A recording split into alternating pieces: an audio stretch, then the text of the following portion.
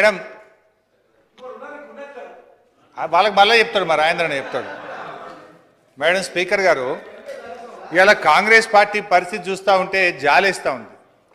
వంద ఎలుకలు తిన్న పిల్లట వెనకటికి శాకాహారం అన్నదట అట్లున్నది కాంగ్రెస్ వాళ్ళ పార్టీ పరిస్థితి.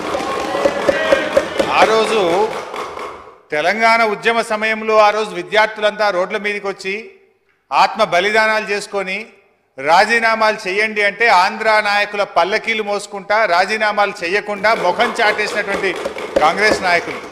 ఇలా వీళ్ళకేదో విద్యార్థుల మీద ప్రేమ ఉన్నట్టు మాట్లాడుతున్నారు. ఆ రోజు త్యాగాలు చేసి నిలబడ్డటువంటి ప్రభుత్వం ఇలా టీఆర్ఎస్ నాయకులు మా రాజేంద్ర అని నిలబడ్డాడు. ఇలా టీఆర్ఎస్ పార్టీ మేము నిలబడ్డాం ఆ రోజు త్యాగాలు చేసినటువంటి వాళ్ళు. అసలు మీరు కాంగ్రెస్ పార్టీ అధికారంలో ఉన్నప్పుడు ఎన్ని ఉద్యోగాలు నియామకాలు చేసినారు? మీ పదేళ్ళ హయాములో ఎన్ని నియామకాలు చేసినారో ఈ ప్రభుత్వం ఈ మూడు సంవత్సరాల్లోనే ఇరవై ఏడు వేలకు పైగా ఇప్పటికే నియామకాలు పూర్తి చేసింది. మా గౌరవ ముఖ్యమంత్రి కేసీఆర్ గారు చెప్పినట్టు ఖచ్చితంగా మాకున్నటువంటి సమయంలో మాకు అరవై నెలల సమయం ఇచ్చారు ప్రజలు. నలభై నెలలు పూర్తయింది. మాకు ఇంకా ఇరవై నెలల సమయం ఉంది. ఖచ్చితంగా మేము విద్యార్థులకు ఇచ్చిన మాట ప్రకారంగా లక్షా పన్నెండు వేల ఉద్యోగ నియామకాలను వంద శాతం ప్రభుత్వ రంగంలో పూర్తి చేస్తాం. ఈరోజు మేము ఈ సభ ద్వారా ప్రజలకు ముఖ్యంగా విద్యార్థులకు కూడా చెప్పదలుచుకున్నాం ఈ ప్రభుత్వం ఇచ్చిన మాటకు కట్టుబడి ఉంటుంది. ఆ రోజు మేము లక్ష ఉద్యోగాలు ఇస్తామని చెప్పాం. లక్ష పన్నెండు వేల ఉద్యోగాలు తప్పకుండా ఈ ఇంకా వచ్చే ఇరవై మాసాల్లోగా నియామకాలన్నీ కూడా పూర్తి చేసి మీ విద్యార్థి ఉద్- ఉద్యోగాలు అందిస్తామని తెలియజేస్తున్నాం అధ్యక్ష. అదేవిధంగా అధ్యక్ష ఇవాళ వాళ్ళు మాట్లాడుతూ సెర్పు గురించి పట్టించుకోలేదు అందరు. అసలు సెర్పుకు మీ హయాంలో జీవో ఇచ్చిండ్రు. వివోఏలకు మేము వేతనం పెంచుతామని జీవో ఇచ్చి ఎనిమిది నెలలు అధికారంలో ఉన్న ఒక్క రూపాయి ఇవ్వండి మీరైతే. ఇవాళ వివోఏలకు ఐదు వేల రూపాయలు ఇచ్చే విధంగా ప్రభుత్వం నిర్ణయం తీసుకొని వాళ్ళకి జీతాలు ఇచ్చి అమలు చేసినాం. సెర్ప్ ఉద్యోగులకు నలభై నాలుగు శాతం ఫిట్మెంట్ ఇచ్చాం. ఉపాధి హామీ ఉద్యోగులకు నలభై నాలుగు శాతం ఫిట్మెంట్ ఇచ్చాం. అంగన్వాడీలను మీరు రబ్బర్ బుల్లెట్లతో కొట్టి వాటర్ క్యాన్లతో మీరు కొడితే మేము టిఫిన్ పెట్టి ఛాయ పోసి వాళ్ళ వేతనాలు పెంచినటువంటి ప్రభుత్వం టీఆర్ఎస్ ప్రభుత్వం. ఆశా వర్కర్లు దేశమంతా కూడా ఎక్కడివని విధంగా తెలంగాణ రాష్ట్రంలో అధిక వేతనం ఇచ్చి భరోసా ఇచ్చిన ప్రభుత్వం. కాంట్రాక్ట్ లెక్చరర్లకు మేము రెగ్యులరైజ్ చేస్తామంటే మీరు కోర్టుకు పోయి కాంగ్రెస్ పార్టీ అడ్డుపడితే కూడా ఇవాళ కాంట్రాక్ట్ లెక్చరర్లకు వేతనం పెంచి సమాన వేతనం ఇచ్చినటువంటి ప్రభుత్వం. ఇవాళ అవుట్సోర్సింగ్ ఉద్యోగులతో మీరు వెట్టి చాకరీ చేయించుకున్నారు. అప్పటి రాజశేఖర రెడ్డి గారి ప్రభుత్వం ఎన్ని ఖాళీలు వచ్చినా భర్తీ చేయకుండా గత కాంగ్రెస్లో మీరు కేవలం అవుట్సోర్సింగ్ పెట్టి వెట్టి చాకిరి చేపిస్తే ఈ ప్రభుత్వం వచ్చిన తర్వాత వాళ్ళ వేతనాలు దరఖాస్తు పెట్టకుండా ధర్నా చేయకుండా అడగకుండా ఇవాళ అవుట్సోర్సింగ్ ఉద్యోగులకు వేతనాలు పెంచినటువంటి ప్రభుత్వం టిఆర్ఎస్ ప్రభుత్వం. జిహెచ్ఎంసి పారిశుద్ధ్య కార్మికులకు ఇవాళ గౌరవ ముఖ్యమంత్రి గారు మున్సిపాలిటీలో ఉండేటువంటి పారిశుద్ధ్య కార్మికులకు ఇవాళ వేతనాలు పెంచినాం.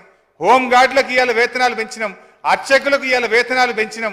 ఈ రకంగా ప్రభుత్వం మరి ఎలక్ట్రిసిటీ ఉద్యోగులకు ఇవాళ వేతనాలు పెంచి ఈ రకంగా ప్రభుత్వం పనిచేస్తుంది. అయితే ఇవాళ కొన్ని ప్రాసెస్ ఉన్నాయి. రాష్ట్ర విభజన తర్వాత పబ్లిక్ సర్వీస్ కమిషన్ నుంచి తెలంగాణ పబ్లిక్ సర్వీస్ కమిషన్ ఏర్పాటు చేసుకోవడం కానీ అదేవిధంగా మరి ప్రక్రియలో ఎవరు పోతున్నారు కోర్టుకు? ఇరిగేషన్ ప్రాజెక్టులను ఏ అడ్వకేట్లు అయితే అడ్డుకొని ఒక ముఠాగా కాంగ్రెస్ పార్టీ నాయకత్వంలో ఏర్పడ్డదో అదే ముఠా అదే అడ్వకేట్లు అదే మనుషులు ఇవాళ హైకోర్టులో ఉద్యోగ నియామకాల మీద కూడా కేసులు వేసిండ్రు. మా దగ్గర ఆధారాలు ఉన్నాయి. ఇరిగేషన్ ప్రాజెక్టుల మీద ఎవరు కేసులు వేసిండ్రో ఉద్యోగ నియామకాల మీద కూడా అదే వ్యక్తులు అదే అడ్వకేట్లు కేసులు వేసిండ్రు. అంటే మీరు ఒక పర- ప్రాసెస్గా ఒక పని పెట్టుకొని ఈ రాష్ట్ర అభివృద్ధిని ఈ ప్రభుత్వాన్ని బ్లేమ్ చేయాలని ఉద్యోగ నియామకాలు జరగకపోతే మీకేదో పది ఓట్లు పడతాయనేటువంటి ఒక రాజకీయ స్వార్థంతో ఇవాళ కాంగ్రెస్ పార్టీ నాయకులు చేస్తున్నారు. సరే మీరు ఎన్ని కేసులు వేసినా నాలుగు రోజులు ఆలస్యం అవుతుందేమో కానీ మేము ఇచ్చిన మాట కట్టుబడి ఖచ్చితంగా లక్ష పన్నెండు వేల ఉద్యోగాలు మా నిరుద్యోగ యువతకు అందిస్తాం. అయ్యా ఇవాళ మే బీజేపీ నాయకులు కూడా మాట్లాడుతున్నారు. ఇవాళ బీజేపీ కేంద్ర ప్రభుత్వమే చెప్పింది కదా మన రాష్ట్రం నుంచే కార్మిక శాఖ మంత్రిగా ఉండే దత్తాత్రేయ నేతృత్వంలో కార్మిక శాఖ ఏం చెప్పింది?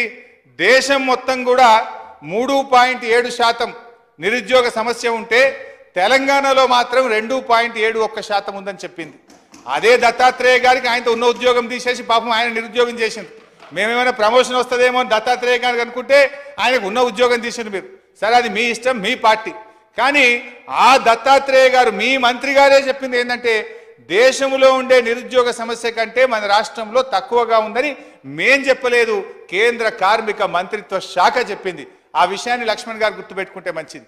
బీజేపీ ఎన్నికల మేనిఫెస్టోలో ఏం చెప్పిందో ఇప్పుడే మా కిషోర్ గారు కూడా చెప్పిండ్రు ఏం చెప్పిండ్రు మీరు? ఏటా కోటి ఉద్యోగాలు ఇస్తామన్నారు. ఎక్కడ పోయినాయి కోటి ఉద్యోగాలు? మరి మూడున్నర సంవత్సరాలైంది. మూడున్నర కోట్ల ఉద్యోగాలు ఇవాళ నరేంద్ర మోడీ గారు ఇచ్చారా? పోని లెక్కలు చెప్తారా?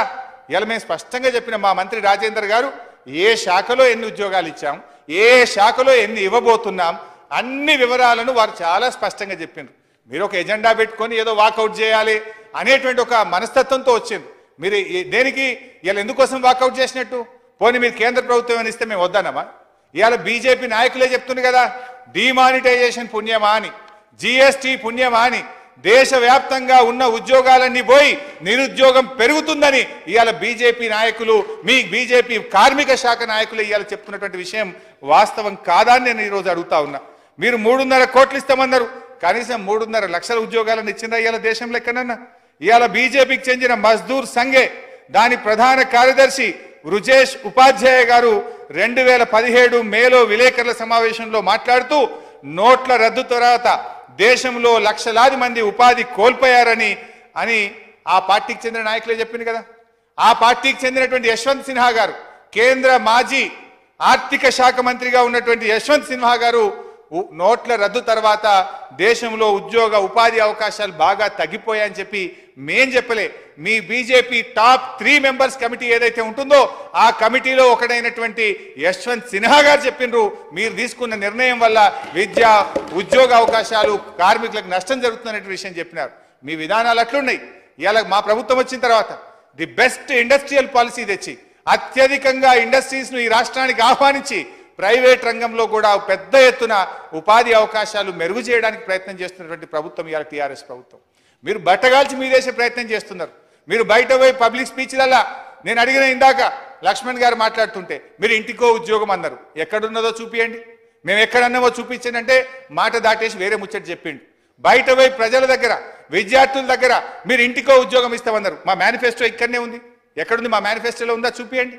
అనవసరంగా మీరు ఒక బాధ్యతాయుతంగా పనిచేయాలి ఒక జాతీయ పార్టీలు తప్ప తాత్కాలిక ప్రయోజనాల కోసం రాజకీయ ప్రయోజనాల కోసం విద్యార్థులతో చెలగాటం ఆడడం మంచిది కాదు అని చెప్పి మేము హితో పలుకుతా ఉన్నాం. ఎప్పుడన్నా మీరు చేసిందరా పోని? మీ పదేళ్ళలో ఏం చేసినారు? ఇక చంద్రబాబు నాయుడు గారి నుంచి నేను ఇప్పుడు చెప్తలేను ఎందుకంటే ఆ పార్టీ లేదు. వారు ఒక ఉన్నారా? మీరు మీ పార్టీ ఉందా? చంద్రబాబు నాయుడు గారు ఒక పుస్తకం రాసిండ్రు. మనస్సులో మాట. మనసులో మాట అని ఒక పుస్తకం రాసిండ్రు. ఆ పుస్తకంలో రాసిన మాట ఏంటంటే ఉద్యోగాలు నియామకం చేయొద్దు ప్రభుత్వ ఉద్యోగాలు భర్తీ చేయడం వృధా. ప్రభుత్వ ఉద్యోగం అనేది శాశ్వతం. భద్రం అనే భావనతో పని చేయకుండా ఉన్నారు. ఉద్యోగుల జీతభత్యాలు పెన్షన్ వల్ల ప్రభుత్వం అప్పుల ఊబిలో చిక్కుకపోతుంది. ఇప్పటికే లక్ష ఉద్యోగులు అదనంగా ఉన్నారు. ఇతర ప్రభుత్వ శాఖల్లో కూడా కాంట్రాక్టు పద్ధతికి మారడం వల్ల ఖర్చులు తగ్గుతాయి. వాళ్ళ నాయకుడు రాసిన మనసులో మాట పుస్తకం. వాళ్ళేమో ఇక్కడ ఉద్యోగాలు ఇవ్వమని మాట్లాడతారు? వాళ్ళు పెట్టిన మేనిఫెస్టోలా. బాబు వస్తాడు జాబ్ ఇస్తాడు ఏ ఇంటికొక ఉద్యోగం. టీఆర్ఎస్ పార్టీ చెప్పలే.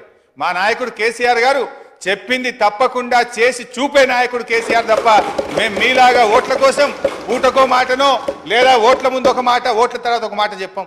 ఇదే కాంగ్రెస్ పార్టీ. ఎన్నికల మేనిఫెస్టో రెండు వేల పంతొమ్మిదిలో మీరు ఏం చెప్పిండ్రు? మీ మేనిఫెస్టోలో చెప్పిన దాంట్లో ఒక్కటన్నా అమలు చేసిందని నేను అడుగుతా ఉన్నా కాంగ్రెస్ పార్టీ నాయకులను. మీ మేనిఫెస్టోలో ఒక్కటి చెప్పండి అట్లీస్ట్. మేమేమో మేము మా మేనిఫెస్టోలో పెట్టిందంటే దాంట్లో తొంభై శాతం అమలు చేసినాం.